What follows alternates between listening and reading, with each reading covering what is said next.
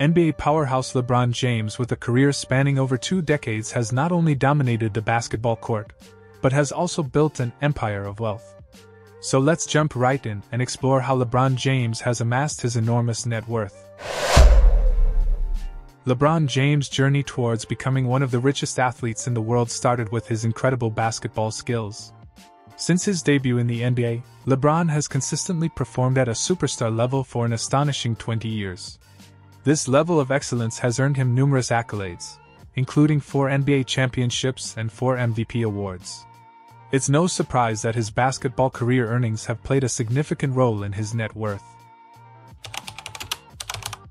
LeBron James' net worth has been greatly influenced by his lucrative NBA contracts. In fact, as of 2023, he holds the title of the highest paid NBA player of all time. In his most recent contract with the Los Angeles Lakers, LeBron signed a two year deal worth a staggering $97 million. This contract is set to pay him a remarkable $50 million in the 2024 25 season. It's safe to say that his basketball prowess has contributed significantly to his financial success. Beyond his basketball career, LeBron James has ventured into various business endeavors, further expanding his net worth.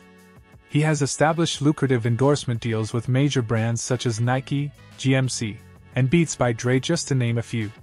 These partnerships have not only increased his wealth but have also solidified his status as a global icon.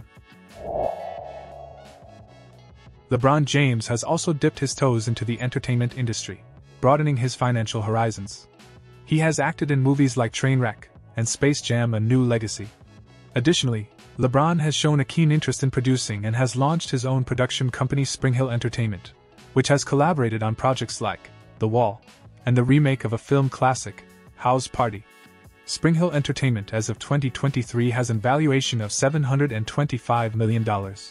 As of June of 2022, LeBron became a billionaire as well as the highest paid NBA player of all time. I think we all take what he's done and what he's currently doing for granted. He's been doing it for so long, we're just numb to it. No matter which side you're on when it comes to LeBron, you have to respect what he's done.